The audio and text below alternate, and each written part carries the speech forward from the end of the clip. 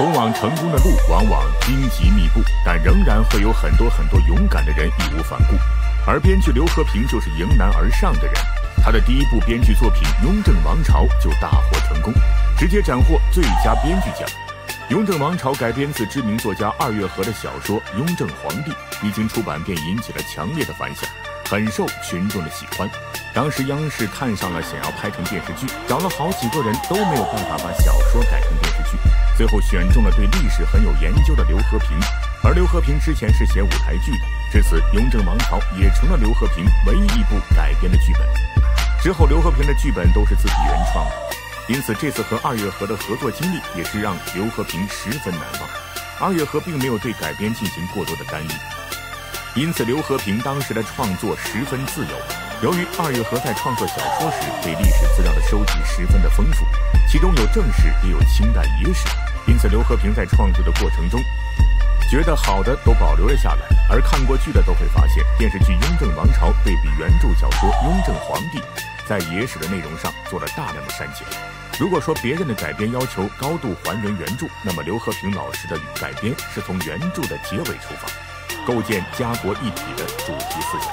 刘和平曾在接受采访的时候说道：“在写《雍正王朝》时，我对帝王的认识还停留在托尔斯泰那个哲学命题上。”帝王是历史最大的奴隶，因此刘和平给雍正杀子时设计了一段台词：“有江山就不能有我，有我便不能有家。”而改编《雍正王朝》，刘和平虽然要受到小说的制约，作者二月河是个很尊重历史的人，因此在剧中对八爷的改编上和刘和平是有不同的意见。历史上雍正三年八爷党就全部倒台了，小说中至此再也没有八爷的戏。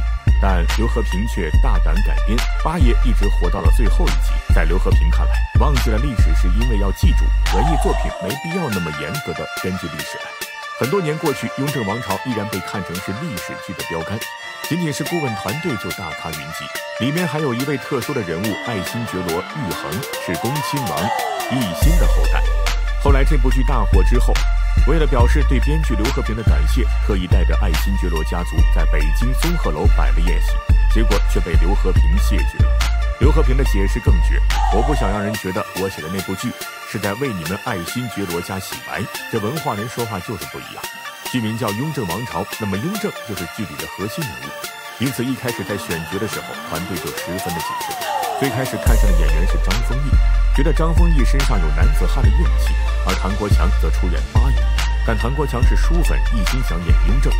导演团队始终觉得唐国强身上的文人气息太重，但最后唐国强还是拿下了雍正一角。这又是为什么呢？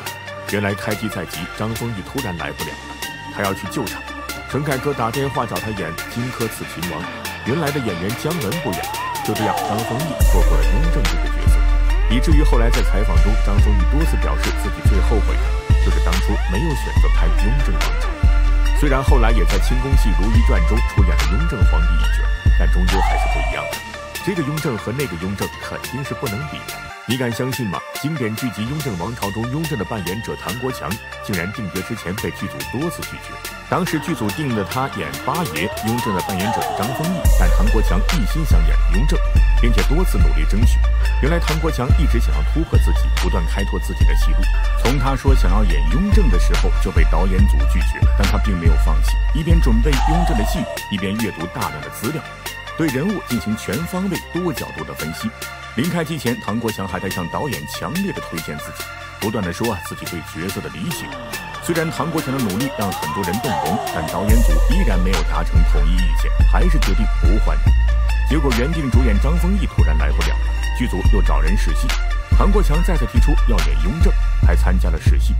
穿上戏服的唐国强彻底征服了大家。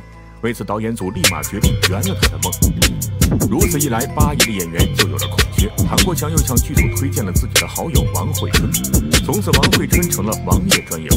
而唐国强为了演好雍正的角色，他就提前背台词，从走戏到正式开拍，从不让人提词，就连雍正的长篇大论他也能彻底完成，因为台词记熟了，只需要在表演的时候注意情绪的把握就行了。从夏天到冬天，唐国强坚持不懈。最终不负期待，为观众奉献了精彩的表演。好小说、好剧本、好导演、好演员，这才打造了一部